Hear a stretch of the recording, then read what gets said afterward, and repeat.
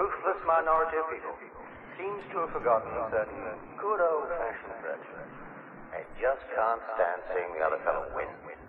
If these people had just played a game, they'd get a lot more out of life.